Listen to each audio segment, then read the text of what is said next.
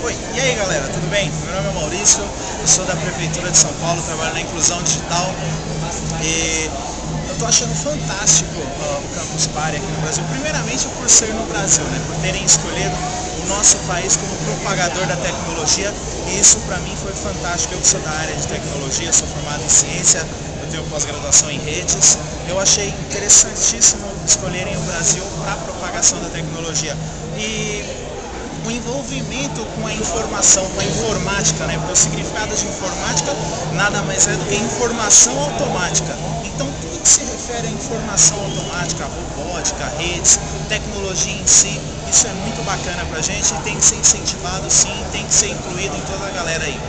É isso aí, pessoal.